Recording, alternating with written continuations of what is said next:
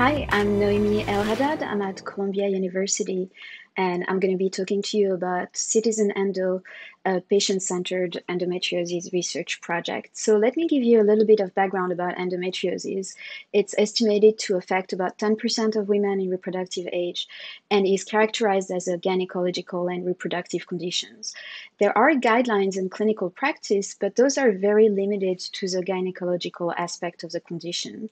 And in particular, the diagnosis is surgical, as well as the definition of the different subtypes of the disease.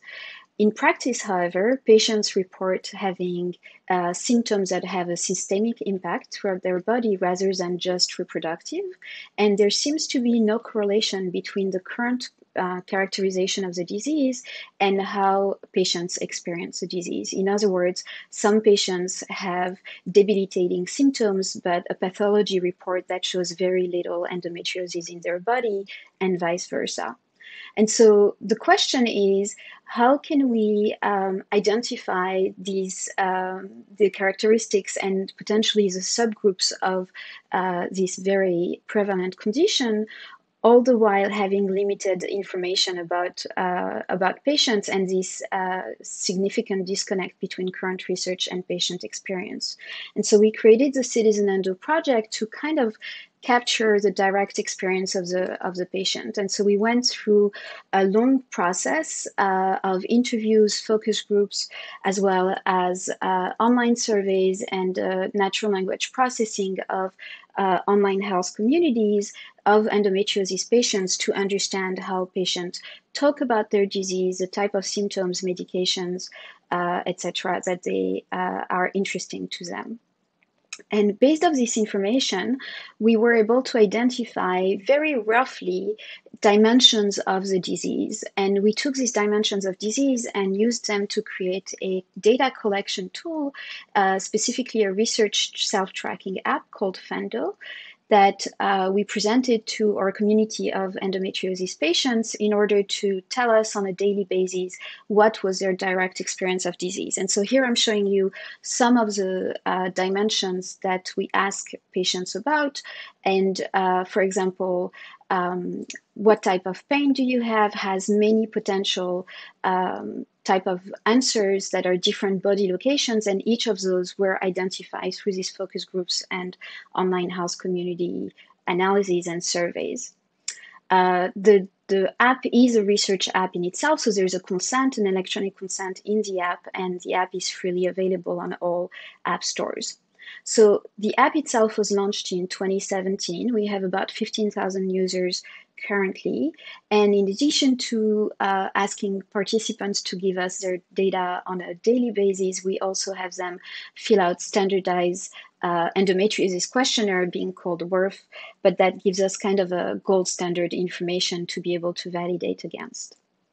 So what I'm showing you here is some uh, basic statistics about our app, and we had used a ResearchKit type of framework to build Phendo.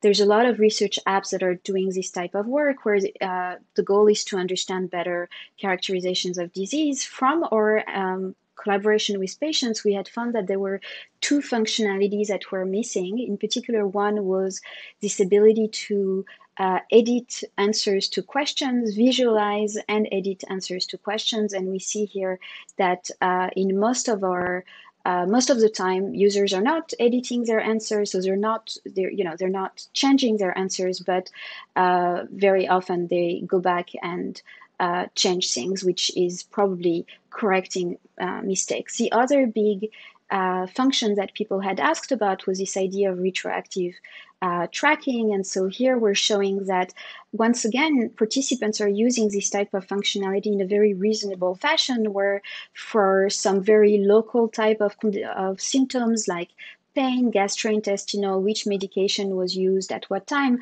Those are very kind of the of the moment type of tracking. But then uh, activities like sexual encounters as well as period information was very often tracked retroactively. And so this is yet another way for us to have some validity or at least um, believed validity about the fact that the data is representative of how patients are uh, wanted to be told to researchers. We did a lot of analysis of the uh, data here. I'm showing some um, basic uh, findings here. We're looking at 12,000 users at this point uh, with a self-reported diagnosis, and we had found that there are four clusters of users. This is once we remove people who abandon the app after um, one day of tracking. And what's interesting to us is that Based on three months of usage, we're able to identify these clusters and we find that there's no drastic difference among the, the different uh, participants in these clusters, none in types of demographics or diagnosis status, or even the type of symptoms that they track. But rather, we found significant differences in how they track their self management. And so that's kind of hinting at us already that there are potential information needs here that we could continue to exploit with this type of uh, apps. Um, you know, going back to the original uh, statement that you know the the disease is thought about as a uh, gynecological uh, disease. Uh, here we're just showing after as soon as we had 2,000 users, we kind of visualized the patterns of pain reported by our participants, and we see that in fact it is indeed very systemic. Uh, and that already just that type of visualization is an addition to um, and in contrast to existing literature. We uh, focused most of our analysis, however, in trying to understand what are the potential subtypes of the disease. And so um, I'm going to describe very quickly this, these papers that goes in details for modeling, but we uh, basically did a clustering analysis type of, um, of experiment uh, at this point, we had 4,000 participants, and we have since then shown that our learning is actually robust to the number of patients, and we keep uh, finding the same type of clusters.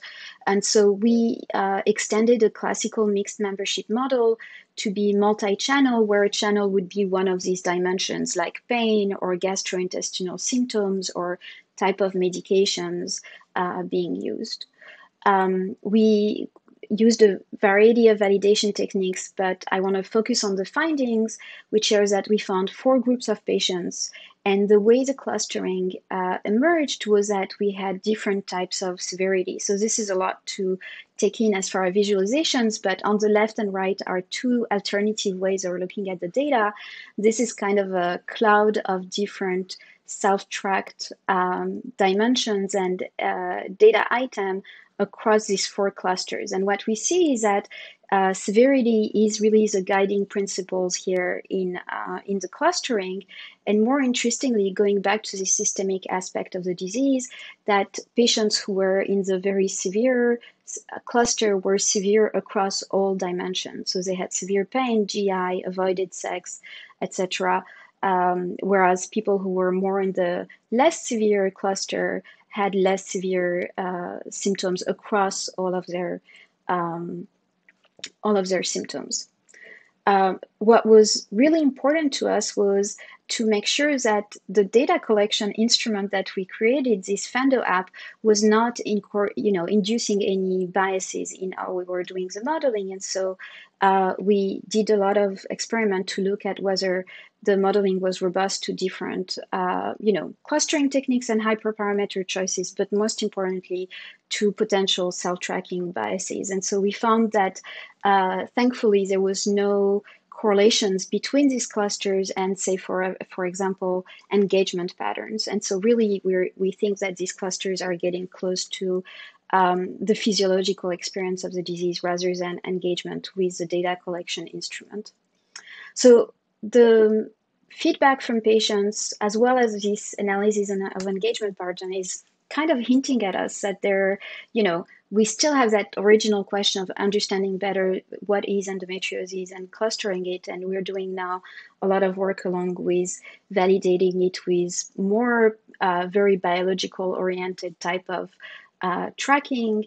Um, but it kind of highlighted two different directions uh, all of them related to self management. The first one is to build a platform for reflection and disease management work of patients together with their providers. Uh, and the second one is since we have this data collection app, that is uh, quite complex but well liked and used by our participants, we actually have now a way to interact and propose interventions to patients. And so we're working on reinforcement learning for personalized prescription for self management. So I want to uh, finish by thinking about this question again of integrating data generation and model learning. And, you know, if I step back, I would say it was a difficult and long and it felt like a very long detour of saying i'm going to create a tool that can collect data and i'm going to collect data in order to learn some uh, something about patients but it was highly rewarding. And by that i mean both in terms of you know we have very high quality data that we exceedingly validate but also has shown already lots of promise for helping us understanding and making a dent on endometriosis research as well as just the rewarding aspect of this patient-centered approach and um, and all of the work we've been doing together with patients I didn't talk about this, but I think very important to me as a lesson learned was that all of the principles of human centered AI, uh, transparency, ethical aspects, communicating of results, explanations of model,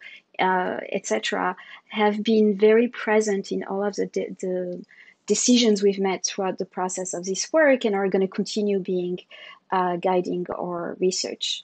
And finally, the big uh, lesson learned, which is obvious to everybody who does patient centered research, but was not to me as a data scientist when I started this project, is that engagement with patients is paramount. And so, in my team, for example, I have two full time members that are just responsible for engaging the community. And this is done in many different ways through social media to um, challenges uh, where patients can participate, to sessions where patients can come back and ask us questions, to return of results, uh, and uh, doing a lot of patient centered conferences.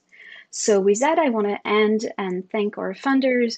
Uh, these are all the people on the team, and mostly send, uh, thank all of our participants.